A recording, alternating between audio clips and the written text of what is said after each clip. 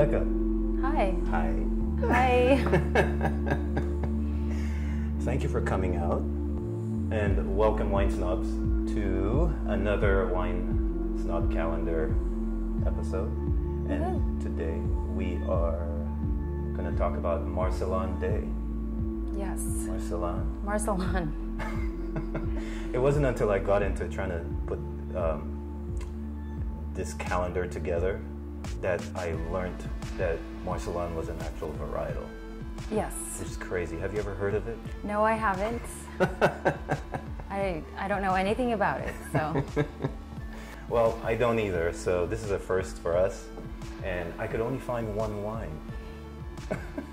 I searched high and low for Marselan, I couldn't find except there was one on wine.com, and here it is. you bought the last one too. It feels that way because shortly after it was out. You know, it may, I'm curious to, to know who's buying Marselan. You are, and Oh, that's it. There's not much. It wasn't. Was it in the wine Bible?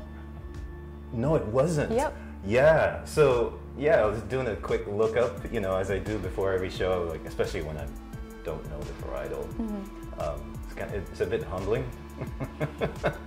Till I find out, hey, wine snob, you don't know this varietal. I'm like, oh. So yeah, I looked up in the wine Bible. We were looking in there, and it, there's no There's nothing there. Yep. Um, I wonder if the updated version has it, but still, that's pretty profound. Uh, so it's that gets pretty obscure out there.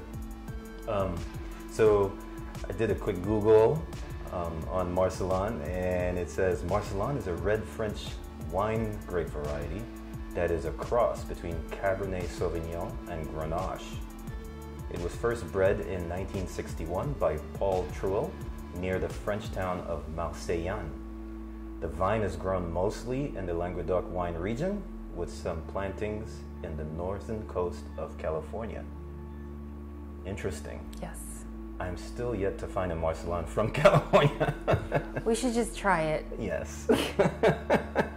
She's ready to go. Let's go. Yeah.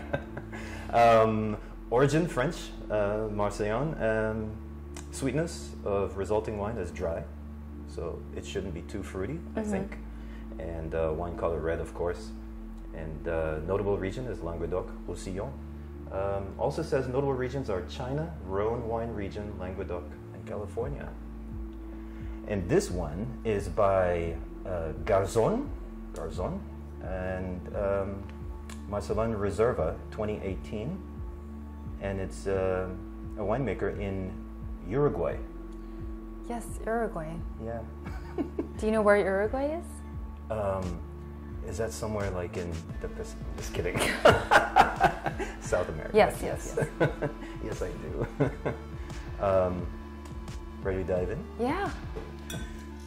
So, um, so red or white wines? What's your preference?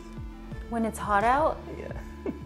as it is right now yeah. in Sacramento, I would like to drink white wines. Yes. um, so, let's talk a little bit about you. Okay, sure. Yes. Yeah. Rebecca, you are a realtor. Yes, I'm a realtor out in Sacramento and Placer counties. Oh, nice. And um, on my spare time, I like to drink wine. Um, Rebecca is also like my first guest off Instagram. yes. That's awesome. Yeah, I, I was like, oh, should I go to his house? I don't know. you know? Yeah. No, but I was like, it's okay. Thank you for Like coming. he has other shows, so it's fine. Thank you for coming out of your comfort Mm-hmm. zone. I appreciate it. This is also the first time I'm meeting Rebecca in person. We've chatted Yes. for probably over the last year, um, back and forth on various topics, especially wine. And uh, but coincidentally, my first encounter, our first encounter, is also our first encounter with With wine, yeah. with wine, With wine and itself. with this grape Yes. itself. so that's awesome. There's a lot of firsts here. Uh, hopefully, to many more. I'm gonna decant a little bit here in my fun little decanter. What's how long do you leave it out for? Like, what's a good time estimate to let let it breathe? That's a good question. It depends on the wine and Mm-hmm. the varietal. Uh, some wines are made ready to drink. Okay. You know, they're more approachable straight out of the bottle. Mm-hmm. Um, generally speaking, especially if they're aged, um, If they're older. if they're older, um, maybe they could benefit from some opening up. But it's also how the winemaker made them. Okay. So I, I try to make notes by winemaker and by vintage. Um, so you know, some winemakers will make a a Grenache that's ready to go right now, mm-hmm. and it doesn't really change as it opens up over the course of the evening. Whereas others will make like a you know massive Syrah uh-huh. or Petit Syrah that needs to air out. Okay. So either way, it's fun to open it and then follow its progression over the course of the evening or such. Because that's happened before where I open a bottle of wine and then it's not so good Yeah. and I put it back in the fridge. I don't know if I'm supposed to, but Yeah, yeah, yeah, okay. I put it back in the fridge. Um, and a day and a half later, it's amazing. Yeah. Yeah. Yeah. The, all the fridge did was it slowed down the decanting process. Okay. So that oxygenation, it just slowed it down and kept it tight. Mm-hmm. So it's also another way to preserve the wine. It's one of the ways I preserve my wines if I, you know, because can't finish the whole bottle every time I do it. I was wondering about that. All your reviews, I'm like, does he polish off the whole bottle? Yeah. Yeah, that is, sometimes it can get heavy. So Yes. um, a lot of times, if the wine is a pretty big wine, Mm-hmm. you know, high alcohol and such, um, I'll probably make it a third or halfway through, and then I'll just you know use a vacuum vent or something and just Uh-huh. put it in the fridge, and it'll keep for a week or so. Okay. I'll come back to it later or Yeah. Um, so if you if you look at my posts, they're usually several days apart. That's good. Can't open one every night. Yes. So, uh, it'd be interesting to see um, what this is like. And on the nose is just that plum. Very, very typical of a cab. yes. There's just a hint of leather in there, like a wet wood, but the fruit is definitely up front Some minerality as well Mm-hmm. You see me, I'm just nodding. Like, yeah, yeah. You're a good sport. I'm like, whatever you say, sure. Well, like we talked about earlier, um, we're gonna do an exercise Yes. um, after this uh, where we'll look at um, earth Mm-hmm. um, versus dirt versus mineral minerality. So like a To wet tell the difference between the two, yeah. right? Um, to kind of like uh, make that connection with your Mm-hmm. palate. We'll dive in.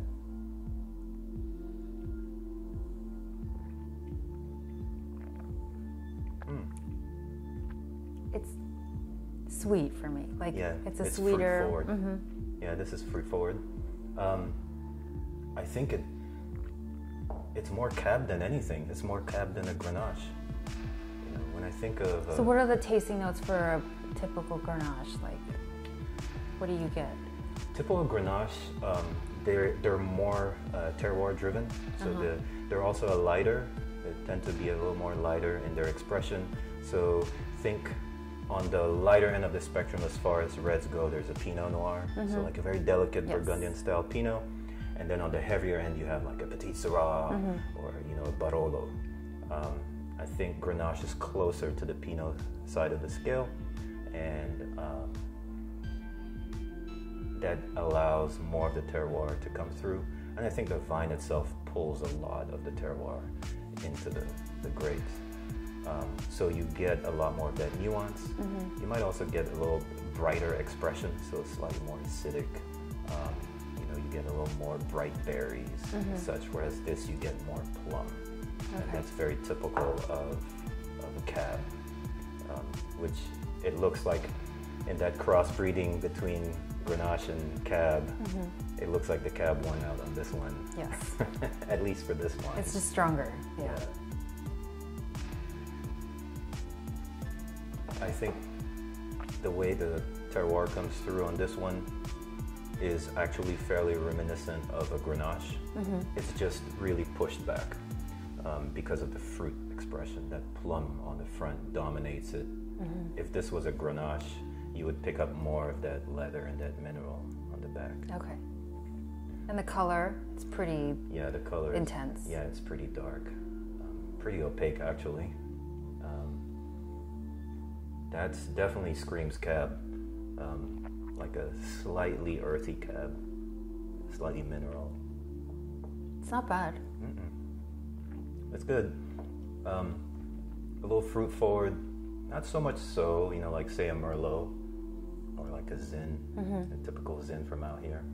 Yeah, Zins have been very Yeah. like it is very fruity.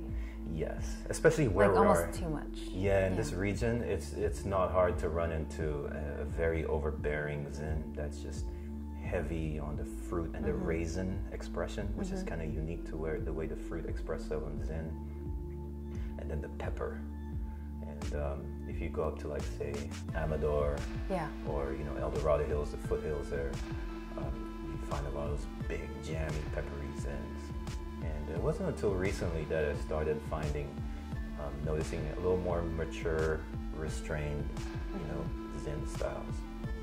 And I think it's just the evolution of the winemaking industry there. It's still relatively nascent, say, compared to um, Napa and such Yeah.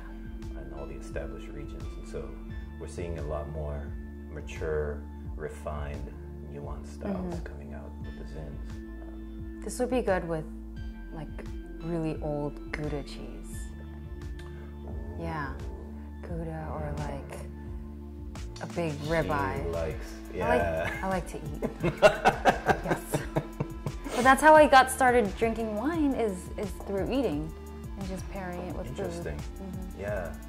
My pairing started the other way. I started drinking wine, but I never combined it with eating. I love eating too. I love food, but and so I think that's kind of still held on because I don't really care to pair that much. Mm-hmm. But then when I do, when I pair, when I find really good pairings, um, oh, it just hits and Yes. rings. Hmm. Maybe on our next one, you can be in Yes. charge of cheeses. I can pick the food and then you pick the wine. Yeah.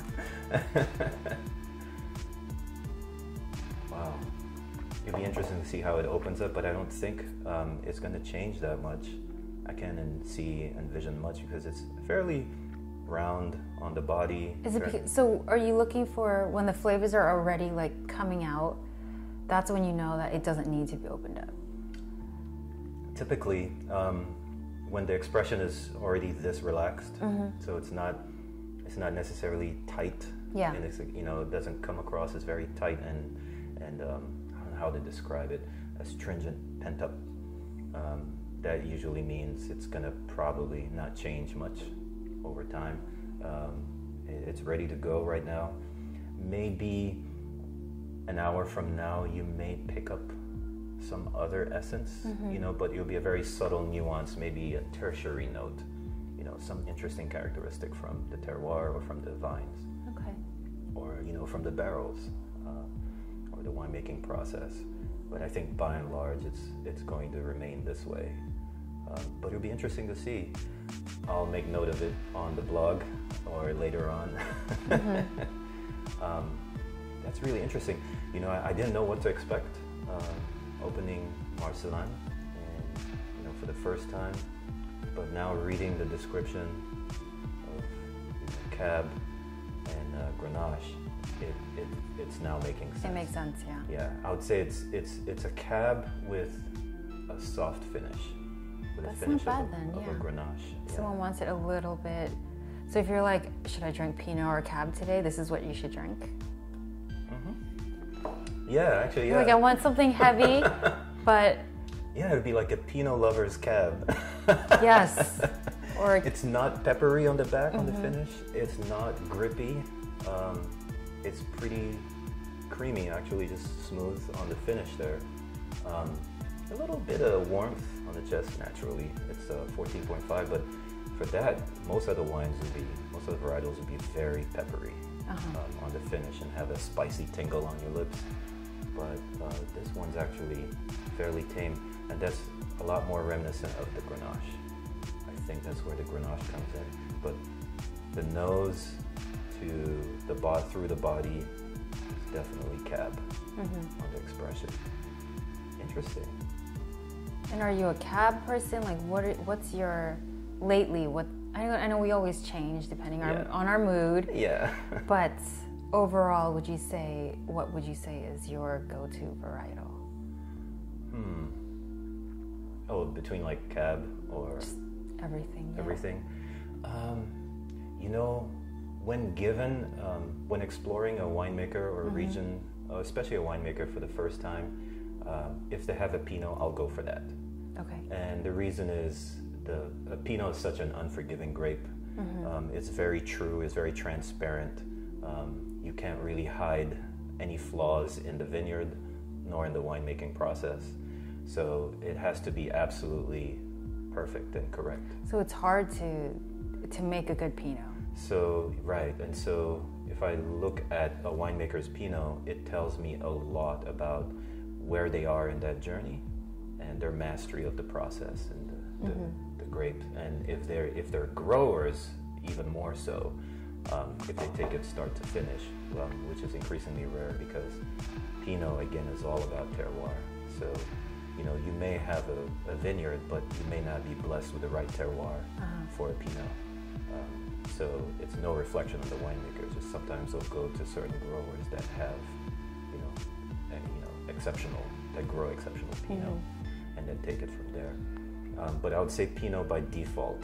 Um, I like more terroir-driven grapes varietals. So uh, Grenache next comes up next. I think, you know, a few other wine snobs and some other winemakers I've talked to kind of think of it. We all think of it as the the Pinot of the foothills um, because it's about the lightest varietal you find up in the foothills, but it's also very terroir driven and it offers enough transparency and clarity um, to reveal any flaws. Um, Can you name a couple of um, vineyards that are worth visiting? Oh, for Grenache? Yeah. Um, I recently did a segment with the winemaker at uh, Skinner Vineyards. Okay. And that's coming up soon on the channel. Uh, and he makes a really nice Grenache. It's all estate right there, and you can taste that terroir coming through. I mean, all their wines are terroir driven. Um, that's a great Grenache. Um, last week I did a barrel tasting with the winemaker at um, Windwalker. Oh, I saw that. Yeah. Yeah. So he has a nice Grenache, and uh, I brought a bottle back, and I was gonna do a review with it, and, and so, but then in a split second, one of my other wine snobs stopped by. I said, "Hey, let's look at this Grenache that uh, you know this winemaker Windwalker made. You know, let's let's see what what he's doing." And we opened it, and we're both like, "Oh, we should have saved that and did a review Oh, on it." so yeah, I hit him up, and he was just like, "Yeah, we'll get you another one." Yeah. Um, so that's going to be coming. I think he makes a good Grenache too, Mm-hmm. um, with a little bit more of an X Factor flair to it. You know, a little more of a, you know, uh, whereas the winemaker at um Skinner is coming from a Pinot winemaking background Okay. in Oregon. So his Grenache style of Grenache is actually fairly reminiscent of, Of a Pinot. Of a Pinot. Okay. So it's subtle, nuanced, and uh, yeah, we'll have to open the bottle so we can explore that. Yes. but yeah, there you have it, wine snobs. Yep. Have you ever had uh, um, Marselan? Let me know in the comments below. and if you're looking to buy or sell a house, Oh, talk to Rebecca. yes. She's the person to talk to. It's crazy. Super cool. Super cool person. Um, but yeah, let me know uh, if you have any favorite Marselans. One that we should look at. I'd like to review more on the blog just to kind of, If they exist. if they exist. Yes. Uh, they're supposed to be here in Northern California, but I don't know where. Maybe someone's backyard. I don't know. yeah, it's got to be something really obscure. So I'll Mm-hmm. have to do like, you know, extreme Googling or something to dig it up. Yes. But uh, yeah, let us know in the comments below. And uh, until then, Cheers. cheers. cheers, my snubs.